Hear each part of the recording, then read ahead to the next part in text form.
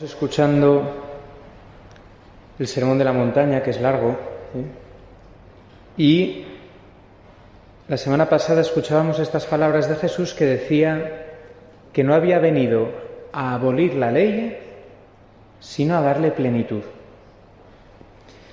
Y ahora vamos escuchando, ¿eh? y escuchamos también aquello de, si, si vuestra justicia no es mayor que la de los escribas y fariseos, no entraréis en el reino de los cielos. Decíamos, ¿cómo va a ser la justicia nuestra más grande o la de aquellos hombres que los escribas y fariseos que conocían al dedillo la escritura, que conocían todas las leyes judías, que las intentaban cumplir, etcétera, etcétera? Y entonces, para aclarar las cosas, Jesús va a ir desglosando poco a poco en qué consiste esto de llevar la ley a plenitud. Y entonces comienza habéis oído que se dijo, y escuchábamos ayer en el Evangelio, ojo por ojo, diente por diente, pero yo os digo, y seguimos hoy, habéis oído que se dijo, amarás a tu prójimo y aborrecerás a tu enemigo, pero yo os digo, amad a vuestros enemigos y rezad por los que os persiguen, para que seáis hijos de vuestro Padre Celestial. De tal palo ¿Cómo sigue? Si Dios hace salir su sol sobre buenos y malos y manda la lluvia sobre justos e injustos, es decir, si Dios no hace acepción de personas, si Dios no dice te quiero según lo que hagas, sino que dice te quiero y punto, nosotros que nos llamamos hijos de Dios, ¿Cómo estamos llamados a vivir? Pues amando con el mismo amor de Dios. Dirá Jesús, como el Padre me ha amado, así os he amado yo. Y dirá después, amaos unos a otros como yo os he amado, es decir, como el Padre me ha amado. Un amor total, un amor hasta el extremo, un amor donde no puede llegar ya más. Cuando miramos nuestra vida, nos damos cuenta de que nuestro amor no es así, ¿verdad? Nuestro amor es limitado, nuestro amor es selectivo, nuestro amor es dependiente de lo que hagan los otros. ¿eh? ¿Cuántos estados de WhatsApp o de Facebook hay por ahí, ¿no? Si quieres que te trate bien, trátame bien tú primero. o frases del estilo. Supongo que todos las habéis leído ¿eh? de ese estilo. El Señor nos está diciendo, mira, no he venido a abolir la ley, sino a darle plenitud. He venido a dar el sentido profundo. ¿Qué significa ser hijo de Dios? Significa ser como Dios, tener la misma naturaleza que Dios vivir del mismo amor de Dios. Esto es muy fuerte. Un segundo, ¿eh?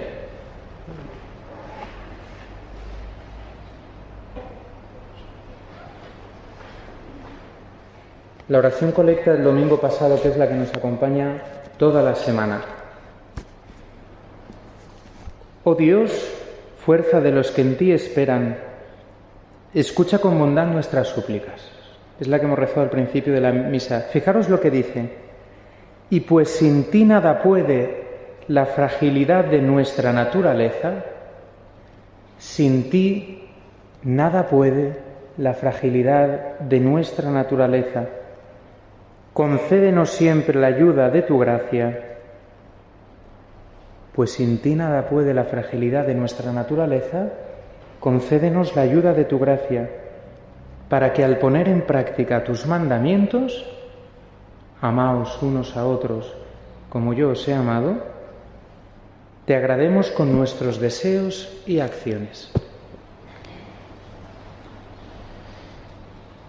Podemos caer en un error terrible, y es escuchar el sermón de la montaña como un código moral, como un código de comportamiento, como un código como los códigos de leyes, y dedicar toda nuestra vida a intentar hacerlo. olvidando que sin Dios nada puede nuestra naturaleza y que necesitamos constantemente la ayuda de su gracia. Por tanto, el Sermón de la Montaña y este Evangelio de hoy, amad a vuestros enemigos, es una buena noticia para ti. El Evangelio es buena noticia. Está diciéndote lo que Dios quiere que hacer contigo, en lo que Dios quiere convertir tu vida. Quiere darte tal capacidad de amar que puedas amar hasta tus enemigos, hacer el bien a los que te odian, rezar por los que te persiguen, saludar a los que no te saludan. El Señor quiere colmarte de amor. Que tú reboses de amor de tal manera que no puedas hacer otra cosa que no sea amar. Esta es la buena noticia del Evangelio de hoy. Que el Señor quiere con su gracia capacitarte para amar como Él te ha amado, como Jesús ha amado. Jesús está diciendo esto porque Él mismo lo está cumpliendo en su vida. No ha dejado de amar a los que lo crucificaban. Y tú y yo experimentamos cada día que nos hacemos llamar o nos llamamos hijos de Dios, pero que no actuamos muchas veces como tales y por eso necesitamos constantemente abrirnos a su gracia, pedir perdón, abrir nuestro corazón y suplicar, Señor, dame tu gracia que me transforme, que me haga ser lo que soy, que me haga vivir conforme a lo que soy, hijo amado tuyo, que ama como tú, que vive como tú.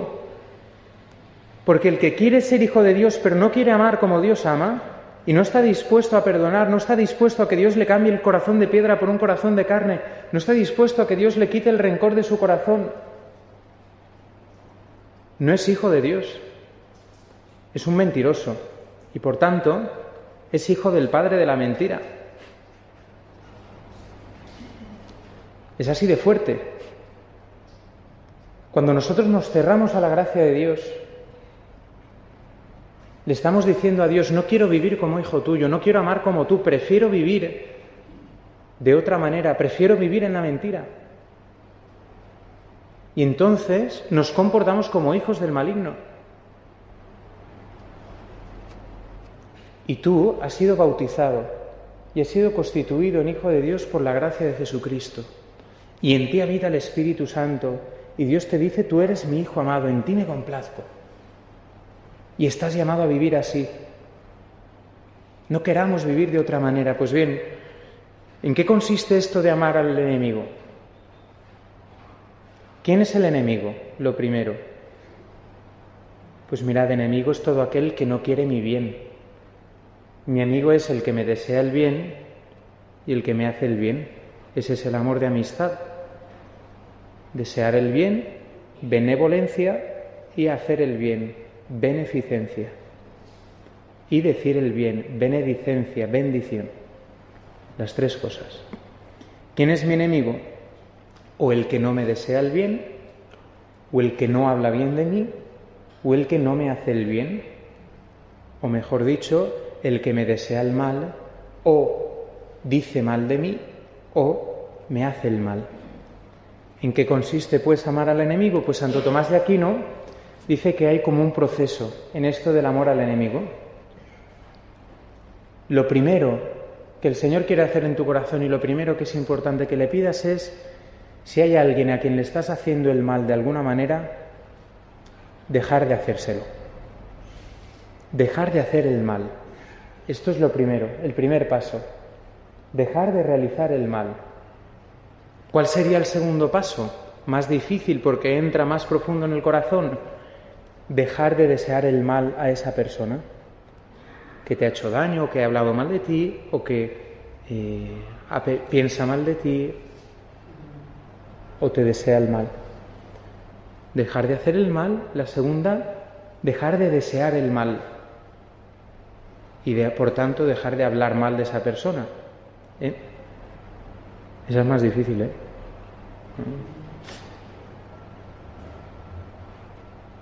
Y después viene el camino positivo, que es pedirle al Señor un corazón como el suyo, que empiece a desearle el bien a esa persona.